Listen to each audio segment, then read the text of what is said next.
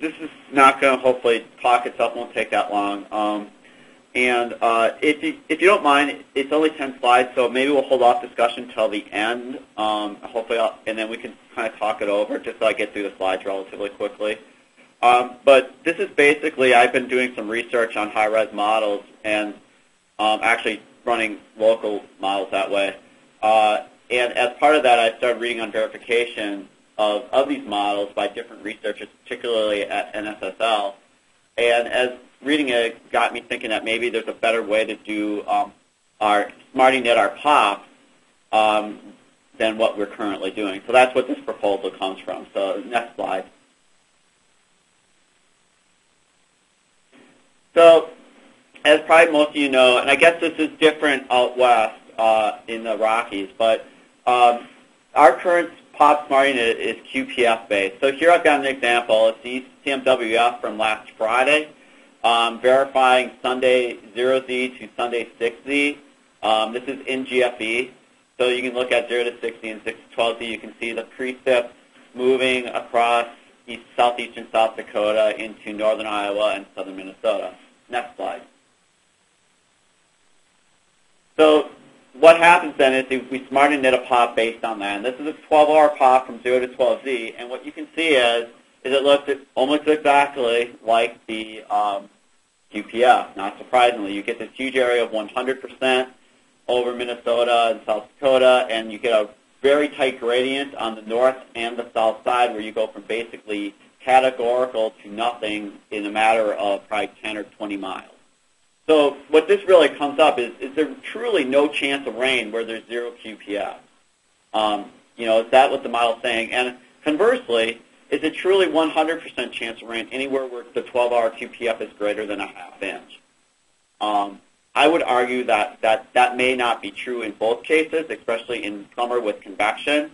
And what that leads me to think is, is does this leading some, some biases, at least in the, in the models, where we have a wet bias in summer because course, the convective parameterization pretty quickly will get you to a half inch in any decent type of forcing. So you can you can get a lot much more easily get to 100%.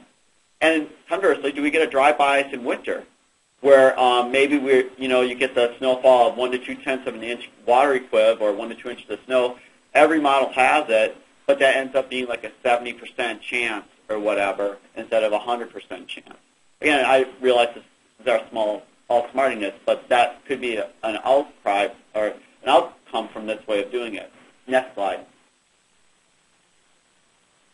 But, but I think even worse than that is that it's actually adjust, affecting the ADJs. So here is the ADJ ECE, not AG, ECM, I'm sorry for that. Um, it's actually the ECE um, for that same period. And what you can see is, is you can see some pretty strange outcome because it's using the ECMWF deterministic model SmartInit as a first guess field for the ADJ. And so you have here, if you look in northern South Dakota, you see um, a 52% pop by Watertown, um, which is north of our CWA, then basically a zero pop. And then because the ADJ um, ECMWF MOS has a 20 pop in Aberdeen, which is a little bit farther north, you get a bullseye of a 20 up there. And so it's very a very discontinuous field there that's not really realistic with how the pop should really look. Um, and so you end up with these weird uh, numerical um, holes essentially in pop.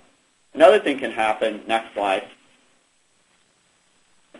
uh, is that you, if it locally raises a pop on the edge of the area, you end up with these, these bullseyes, which may be unrealistic. So, for example, ECMWF had a pop of 9% in, in Denison, Iowa, which is, which is where the arrow is pointing, or the 12-hour, but the MOS had a 37%. So then it locally raised the pop across that whole neighborhood, and as a result, you get this local bullseye of categorical pops around Dennis, just north of Denison, Iowa. And in fact, it's a higher pop than what ended up being across all of southwest Minnesota um, at that point. So again, you end up with these weird numerical anomalies because of, of how we're not just with the with the deterministic model, but with the ADJs as well. Okay, next slide. And then when you go to the high to the high res models, you end up with a much more noisy field. Now this is actually fairly clean because it was a relatively organized system and it's three three QPF. but this is from the high-res WRF ARW. And you can see at the edges you end up with very tight gradients. You see these, these fingers that come out from the area of precipitation. And in western Nebraska, you can actually just see small bullseyes of precipitation.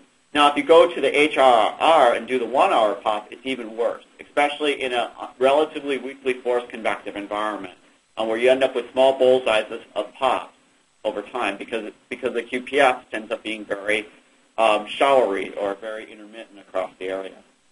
Next slide. And just one last example again, and this is from the, the NAM12. Again, you can see the, the uh, tight gradients um, where you go from basically 0 to 100% or near 100% in less than one county. Um, again, remember, this is, this is fourth period. This isn't first period. Um, and so you get what I would call a very deterministic looking pop.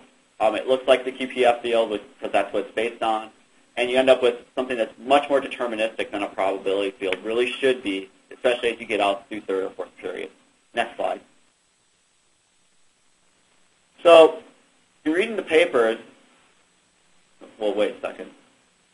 Um, one of the papers, and this wasn't the paper that completely developed this idea, but they, they explain it really well. It's by Schwartz et al. in Weather and Forecasting. I believe it's February 2010 for those who want to read it. It's something called neighborhood probabilities. And it's on the SPC SSEO already. They do it all the time. And since I actually made this proposal to, or since I talked to John, I also found out that that um, Denver office and several offices in Wyoming and Colorado may be doing a very similar type thing. Um, Eric contacted me. Um, but basically what it works is that basically at each grid point, you, you draw a circle. And that circle is some, is some radius r. Um, you know, in this case, it's, it's basically two grid boxes or two and a half grid boxes on this example. And what you do is any grid point that's within that circle, you just count the number of grid points that have QPF. So in this case, on the left, we have eight grid points that have have a non-zero QPF. So as a result, the pop at the center grid point is 38% instead of what would be a deterministic 0%. So you end up, as you can imagine, you end up with a smoother field, and we'll see that on the next slide. So we can go to that.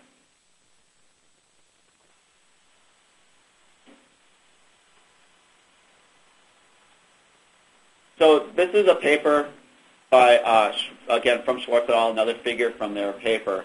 And they have different radii that they're using. And you can see as, you, as the radius is zero, which is basically the deterministic way, in this case it's exceeding four millimeters of rain in one hour, um, it looks very noisy. It basically looks like a radar picture um, in essence.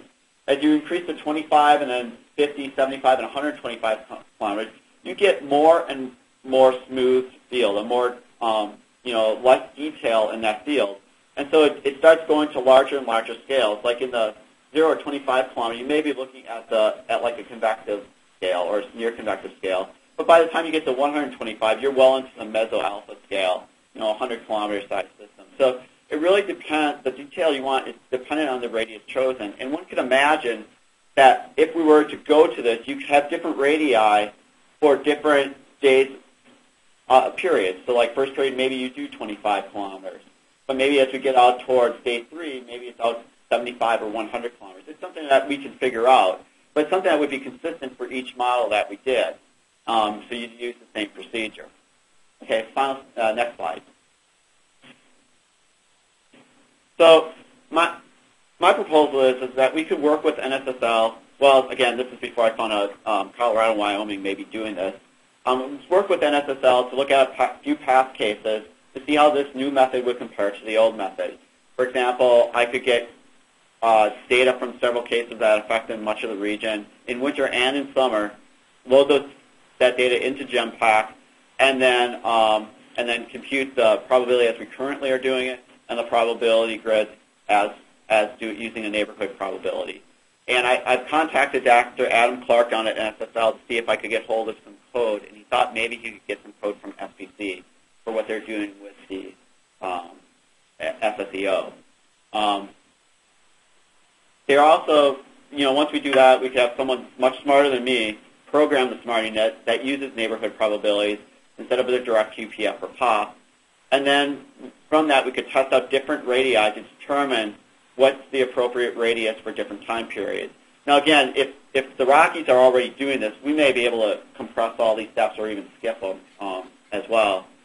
And then once we do it, we could examine the difference between the current methodology and the proposed methodology in a few test offices um, in the plains or the you know like the lakes, the plains, the Mississippi Valley, et cetera.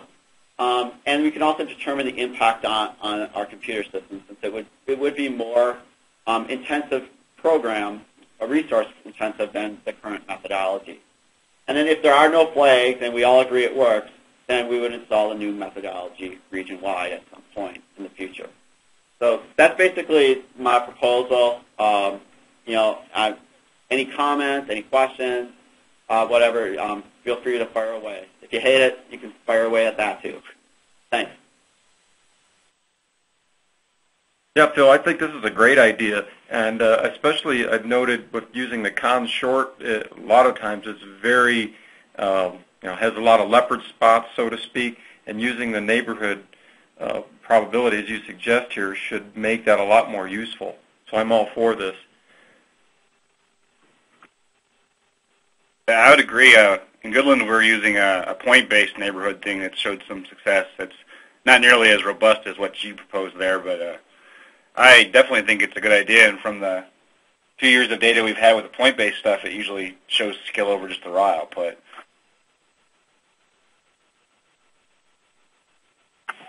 Bill, it's Carl. I like it a lot. Um, have you thought any, especially in the shorter term, as possibly time shifting as well as spatial shifting? Because sometimes, you know, the timing isn't right. And so if you time shifted it forward back a little in the same way, you might it would smooth the forecast, but it might be a little more usable for what we do.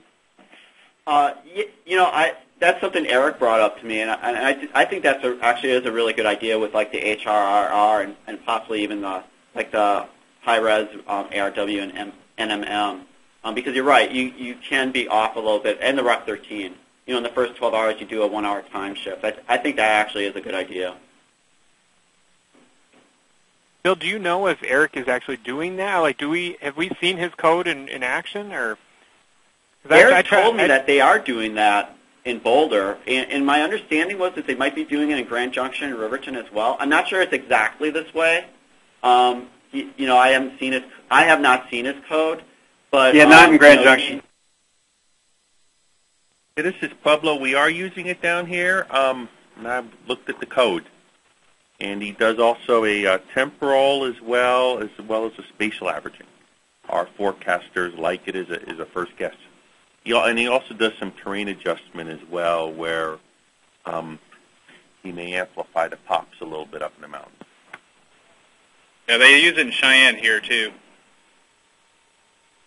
Well, maybe it sounds like uh, another first step would be just to, to see if we couldn't spread that out to a few more offices. I, I talked to Eric a while ago, but I wasn't able able ever to, ever to actually get my hands on the code. So um, I think it seems like it, if it may if it may have the possibility of helping avoid you know some redundancy in our work here. Um, I'm all for the idea. I think it sounds great. Yeah, I, I think if we can get that the stuff from the Rockies, I, I agree. I think maybe we could start testing it at other offices.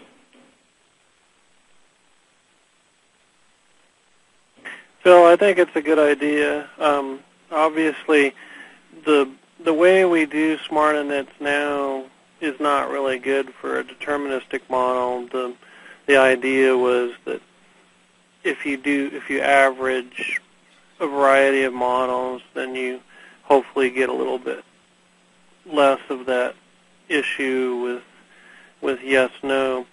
Um, some other things you should probably know that we're we've tried, but because of the looming AWIPS 2 issue, we're really not distributing them. But Jerry has bias corrected pops now, um, which is pretty cool actually. It, you know, a lot of the deterministic models, as you get into the extended, have zero pops, which is not very realistic, and this corrects them, and it also corrects the wet bias. You know, we haven't been running it very long, but that's that's something else that I think would help with some of these these issues. Um,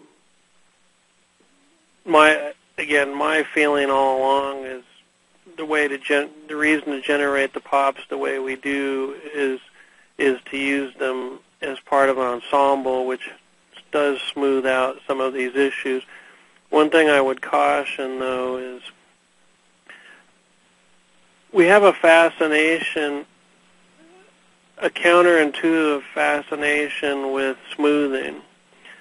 Uh, on the one hand, I, I hear a lot of offices talking about um, how they don't like detail in the model output, and so they try to smooth it. And then in the, next sentence, they complain that models are too smooth and there's not enough detail.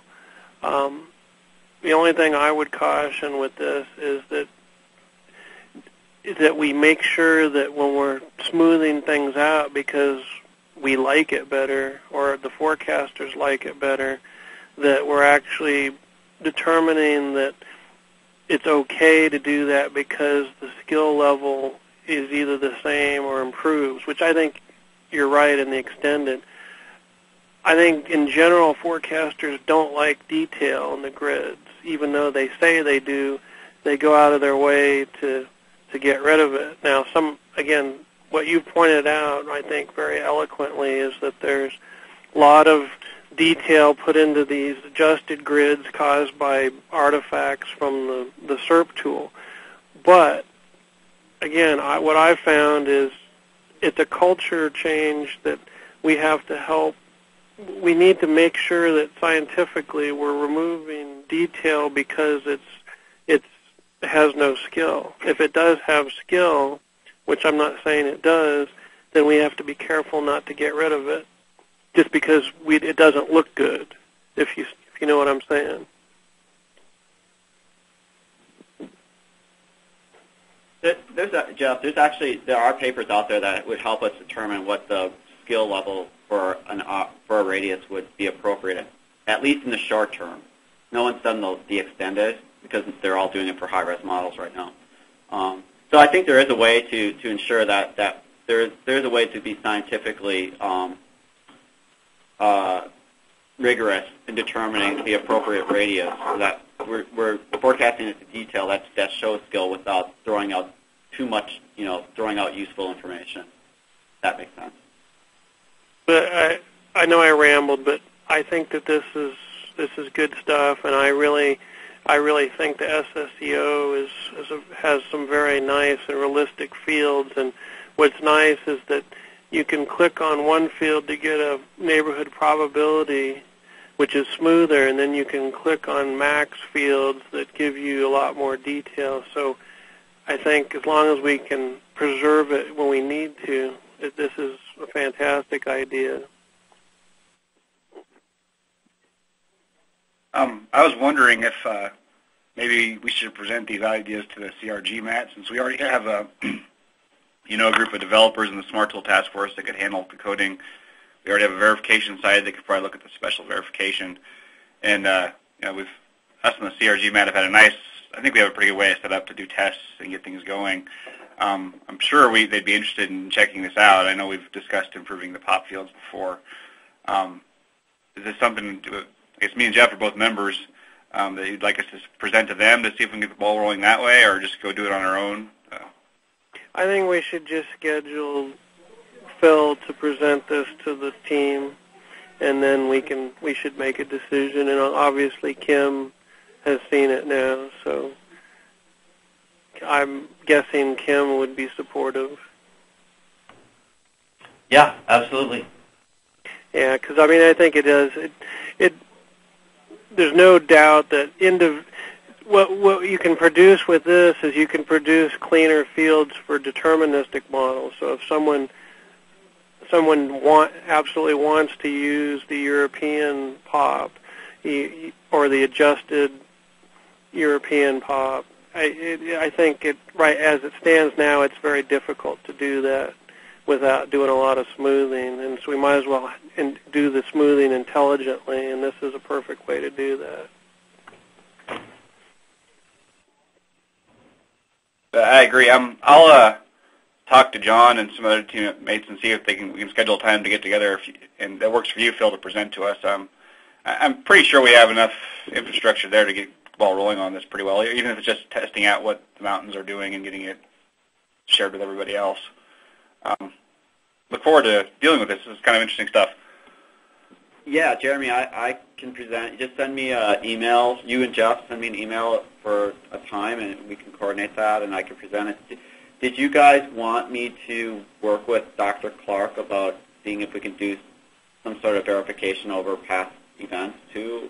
You know, using that it would just be the NAM, the GFS, and the RUC. That's all that um, NSS or NCDC archives that I know of. Um, but if you're interested, I can I can check into it and see how long it would take. Or if you don't think we need to do that, I can you know just say we don't need that. Uh, I'd personally be interested in it just because if we tried to verify it through our own means, you know, we'd have to collect all the data, and it'd probably be a year from now before you'd even be able to see any verification data. Um, so if it's possible, I, I I wouldn't mind seeing, but seeing it if it's not too much work. Yeah, Um, I'll find I'll find out from uh, Dr. Clark what how much work it would be, and I'll, I'll let you guys know. You know, hopefully I'll have more information by the time of that call. That sounds good to me. Okay. Thanks for putting it together, Phil. Good stuff. Thank you.